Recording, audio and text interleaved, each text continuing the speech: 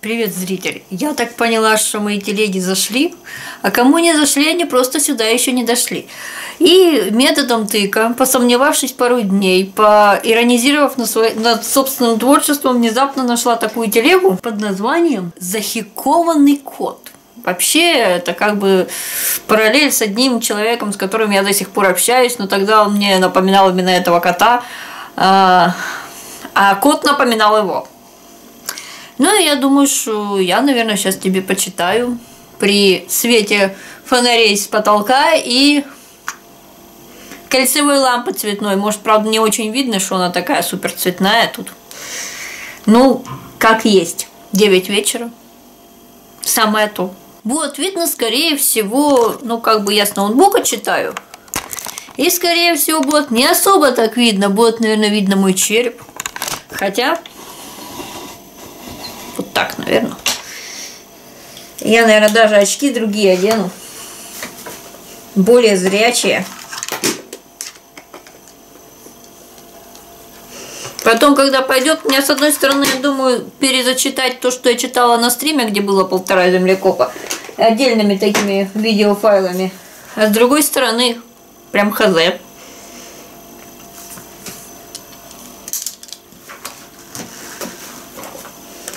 Смена очков все-таки при тусклом свете без эм, фотохромных стекол удобнее.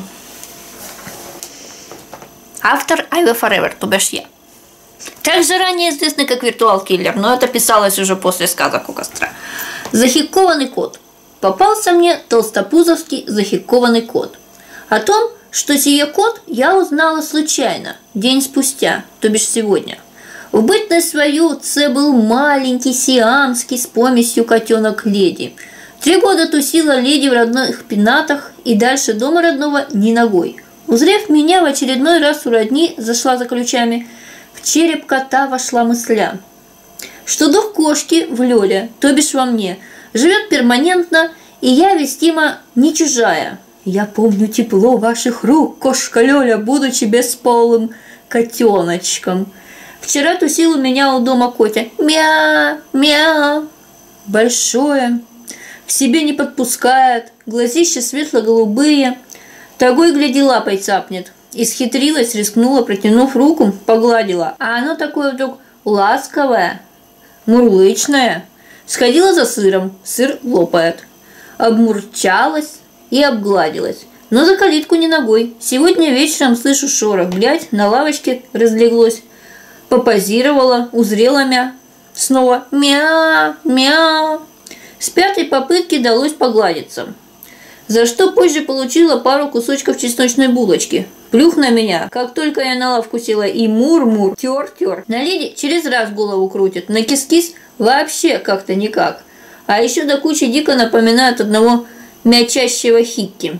Домой, кстати, не пошло. Ждало на крылечке. Потом по территории слегка прошлось, а дальше я решила до соседей дойти и зову его, а оно выдержит расстояние в 3-5 метров и раз куст, забор, траву метить. Блин, леди, так ты кот что ли? И так до середины деревни шел, боязливо, примаститила с хорошую баллонку. 2059 14 2016 Лёля, деревня Масеевская. Финита комедия? Эй, зритель, Поставь лайк, пожалуйста.